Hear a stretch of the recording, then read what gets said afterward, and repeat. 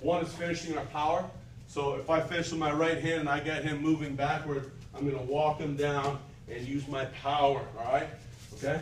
So there's also the jab of the legs. The closest thing to our bodies right now is not our jab, it's my leg, my shin to the inside of his leg here. You see it all the time. It's called the jab of the legs. I use it a time where you just skip into it and then pop out. It's not going to knock you out, but it's also going to discourage you from moving forward. I use it a lot when people move towards me and they oh, us boom, it just opens up their leg and just kind of gets them to stay still for a minute. It really discourages forward momentum. In pure kickboxing, that's what they use to stop people from moving forward is the body kick or the leg kick. He moves forward, boom, that just stops him in his tracks. Okay? A little tougher when he can grab that leg as a wrestler though. So right now we're just gonna we're gonna do two types of kick defenses very lightly with each other. We're just gonna pop our leg in a little bit like this. Go ahead. Goes. Just gonna touch it like that, okay? Again. Just gonna touch it a bit, okay?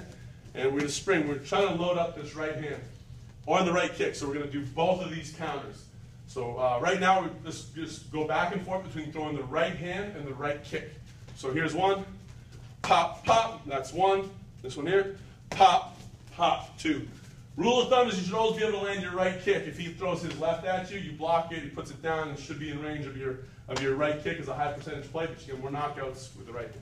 So let's turn that hip over, load up this other hip, spring with the right hand, here, spring with the right kick. Awesome, begin.